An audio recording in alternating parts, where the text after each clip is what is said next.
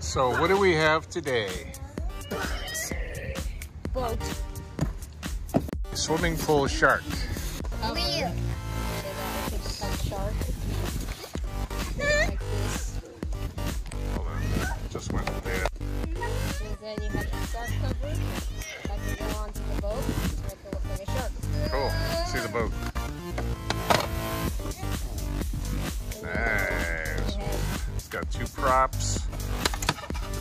A regular plastic. then you have the controller. I have no idea how to use this. I do. All right. And it comes with charging. charger. All right, let's put it together and see how it works. So it seems to have come with everything you need to charge, but it doesn't come with two AA batteries for the remote. All right, so to open up for this battery,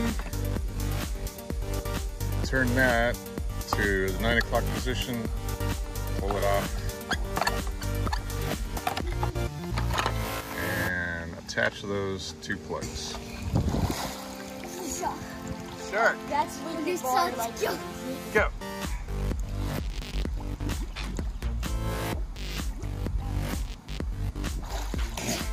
Poor guy's freezing. All right, so I took that off. Let's see.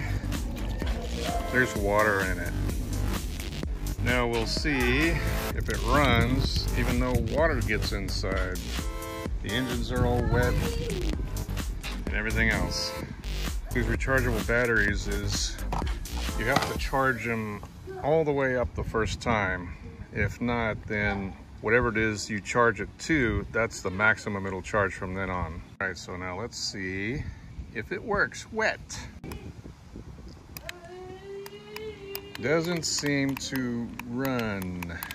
We'll try a full charge overnight and then we'll dry it out make sure it's all completely dry and then we'll see how it works tomorrow. If it doesn't work, I'll let you know. See what the ad says. Remote control shark toys for 8 to 12 year old boys, high simulated shark, RC boat, pool toys. Important, this product is not categorized as toys or playthings.